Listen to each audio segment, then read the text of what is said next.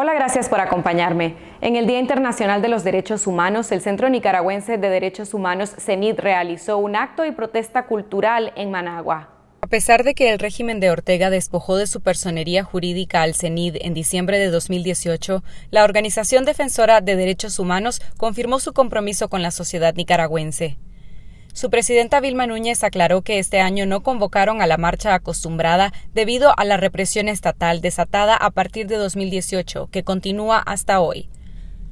Durante la actividad también se exigió la liberación de los más de 160 presos políticos que continúan en las cárceles del régimen y la restitución de las libertades públicas y los derechos humanos en Nicaragua.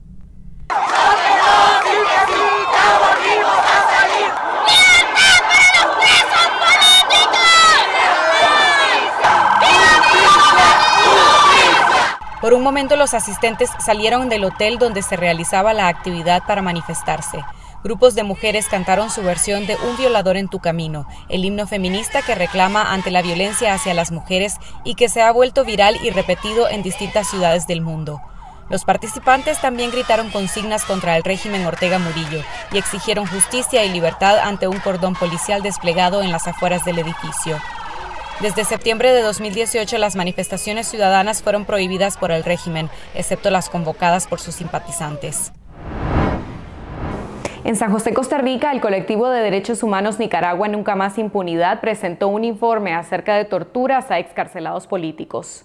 El documento registra evidencia de actos de tortura cometidos por fuerzas policiales y parapoliciales o paramilitares a los que fueron sometidos los presos y presas políticas en los diferentes lugares de detención, tanto legales como clandestinos, en el contexto de las protestas ciudadanas que ocurrieron a partir de abril de 2018 y de la represión estatal desatada por el régimen Ortega Murillo. El día de hoy es especial justamente porque se conmemora un año más se celebra un año más de la Declaración Universal de Derechos Humanos. Es un instrumento internacional que, eh, que se firmó para que no se cometieran estos actos que hoy hemos venido a revelar los testimonios recabados por el colectivo evidencian que el Estado de Nicaragua es responsable de la conducción de una política de represión, persecución, criminalización y discriminación, ejecutada a través de las distintas instituciones y funcionarios, dice el informe, que da cuenta de actos de tortura, desaparición forzada, violencia sexual, simulación de ejecuciones arbitrarias,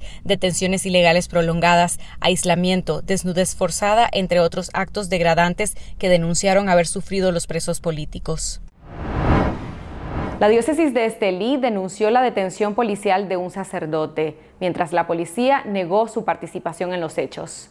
En un comunicado, el secretario de la Conferencia Episcopal de Nicaragua y obispo de la diócesis de Estelí, Abelardo Mata, denunció la detención del sacerdote Alcides Peña el 7 de diciembre. El documento menciona la detención por parte de agentes de la policía y el traslado a las instalaciones de la institución en Ocotal. Además, detalla que fue detenido por alterar el orden público 31 veces. El párroco de la comunidad El Jícaro, Nueva Segovia, fue retenido por 12 horas sin previa orden de captura, según reportó el diario La Prensa. Este lunes, la policía publicó una nota de prensa negando que hayan sido agentes de su institución quienes detuvieron al sacerdote. También negaron haberlo retenido en sus instalaciones. El régimen Ortega Murillo ha desatado una campaña de amenazas y asedio contra obispos y sacerdotes de la Iglesia Católica, tildándoles de golpistas y somocistas. El juez Edgar Altamirano será quien juzgue a las personas detenidas por llevar agua a las madres de reos políticos que permanecían en huelga de hambre en la iglesia San Miguel Arcángel en Masaya. Del juzgado séptimo distrito penal de juicio de Managua al juzgado noveno de la misma ciudad pasó el expediente de las 16 personas detenidas el pasado 14 de noviembre, con lo cual el caso queda en manos del juez Edgar Altamirano, señalado de obedecer órdenes directas del régimen Ortega Murillo. Altamirano es conocido por haber impuesto condenas de más de 200 años a los líderes campesinos anticanal Medardo Mairena y Pedro Mena, que fueron después excarcelados como parte de las negociaciones entre el régimen y la Alianza Cívica por la Justicia y la democracia. Este domingo 8 de diciembre se presentó la Unidad Nacional Azul y Blanco capítulo Costa Rica. Exiliados nicaragüenses en Costa Rica crearon la Organización Autónoma de la Unidad Nacional Azul y Blanco de Nicaragua. Los miembros del Consejo Político de la UNAB en Nicaragua saludaron el esfuerzo de la agrupación en Costa Rica como un acto autoconvocado enfocado en trabajar por la liberación de los presos políticos, apoyar a los exiliados nicaragüenses en el país del sur y su futuro retorno, así como por la unidad en una gran coalición opositora contra el régimen Ortega Murillo.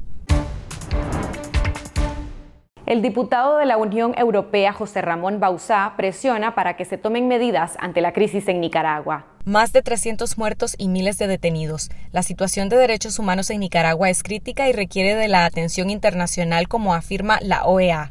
Hoy le exijo soluciones a Joseph Porrell, tras varias resoluciones del Parlamento Europeo y sanciones que siguen en el aire, tuiteó el eurodiputado del Partido Ciudadanos de España. El diputado envió también una pregunta al alto representante de la Unión Europea para Asuntos Exteriores y Política de Seguridad sobre qué medidas adoptará para forzar una salida a la crisis política y social en Nicaragua. En nuestro canal de YouTube les invito a ver el reporte especial preparado por nuestro colega Wilfredo Miranda sobre los cubanos que han llegado recientemente a Nicaragua. Entérese cuál es la razón del aumento de flujos migratorios desde la isla y cuál es el propósito de quienes llegan a nuestro país. Este ha sido el reporte de las noticias para hoy. Gracias por haberme acompañado. Nos vemos pronto.